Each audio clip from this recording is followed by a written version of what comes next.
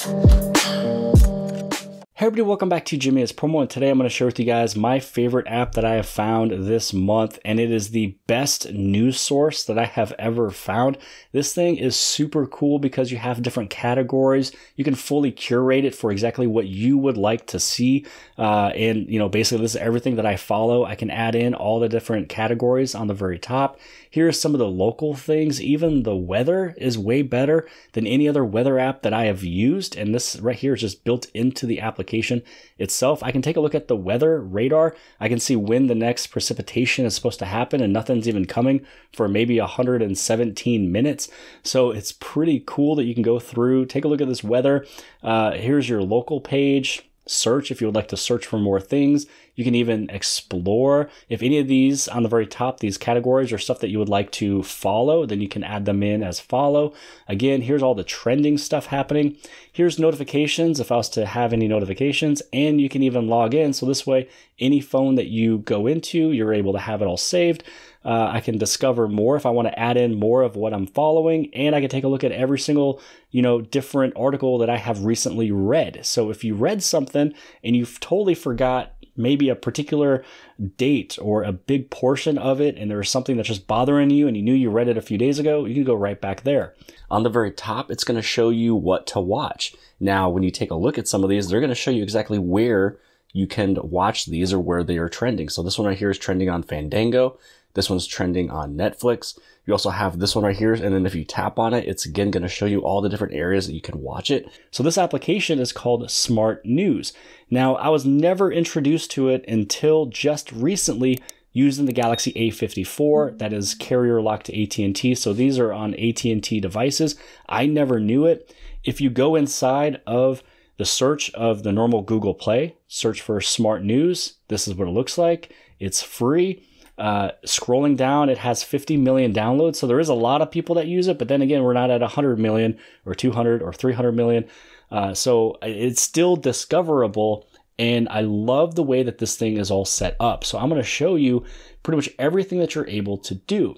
So first off, when you download this, you're going to go through and you are going to put in uh, it's basically going to find your location. You give it the authority to you know know where your location is. So this way you can get all of your local news. Uh, but also too you're it's going to ask you questions about what you would like to follow. What are you into? What is your uh, you know interest? So basically here is everything that i selected. So i selected android i selected football gaming I selected Google, Kansas City Chiefs, mobile devices, movies, Samsung, science, technology, YouTube, and there's going to be more I'll add. I'm going to keep adding in more whenever they keep on coming. So if I wanted to add more in, I can go to discover more. I can add in computers or I can pick an MLB team. So when I chose the Kansas City Chiefs, if you select one of these that tells you pick your team, you select it, you scroll through and then you find the team that you would like to follow. You can follow iPhone, you can follow iOS, software, Nintendo, devs, Travis Kelce, because obviously I chose, you know, the Kansas City Chiefs, Peacock TV, Call of Duty. You know, soon I'm going to find one that's going to probably say Halo. You can follow anything in, you know, economy. Then you can take a look at publishers. If there's particular publishers, if there's news outlets that you love to read, then you just go through here. You can select all of them. So you got BuzzFeed, you got LAD, you got your Fox, you got your Express, Business Insider, Independent, ABC News, uh, LADbible. I don't know if I've said that or not already. I mean, there's so many of them in here you can go through. You got CNN, NPR, Mental Floss, uh, Mother Jones, Men's Health, Wired. Oh, here we go. I'm going to add in Wired. I'm going to also add in Men's Health. There we go. Got a couple of additional ones. So now, when you go inside of the home, you kind of have everything all set up. As you scroll on down, this is just everything that is top. And then it's going to tell you where they're actually coming from. So this is from Cubby, Mirror Online, TechCrunch, uh, the US Sun. You can go through so you can see all of this. Here's some of these if you want to add more in. Again, it's going to keep on letting you, you know, add stuff in. Here's some more publishers. Now, also while looking at top news, when you see these little areas on the very top, you can actually go through each of the different providers. So if you were to swipe through on the very top, I mean, you got your swipe downs right here going through everything. Uh, but you have all of your publishers on the very top, which is pretty cool. So if there's particular ones that you are, you know, a fan of, you can actually just go right through here, check out the top news from U.S. Uh, Today, BBC, Politico, uh, Associated Press, NPR, Reuters, The Hill, and ABC News. So you can just keep on going through at least the top news from then. Other than that, everything's just going to be listed all down here, but all kind of uh, in whatever order they want to put it in. But pretty cool to take a look at this portion right here with inside of this top category.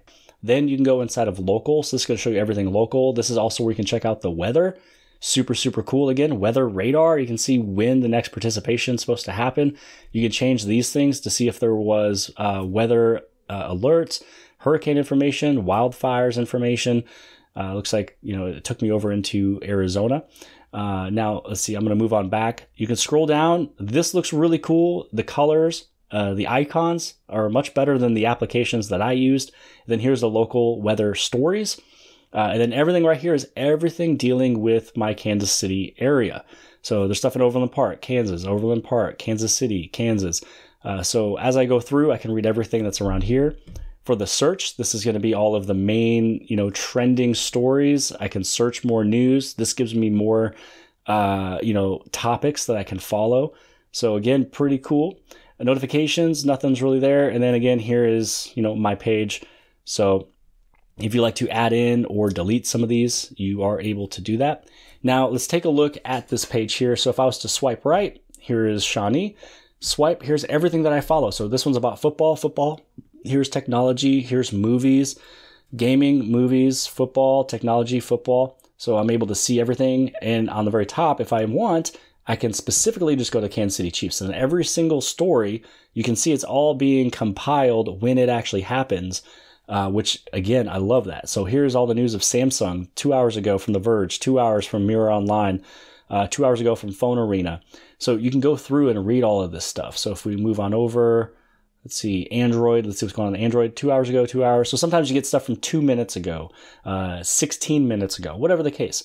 Um, now, you know, you can still scroll down now we can move over into, uh, let's see here, entertainment. So just like when it comes down to this first category, which is top, where you're able to swipe over through the different publishers, well, here's one that's actually pretty cool. So if you head over inside of, let's say, entertainment, on the very top, it's going to show you what to watch. Now, when you take a look at some of these, they're going to show you exactly where you can watch these or where they are trending. So this one right here is trending on Fandango.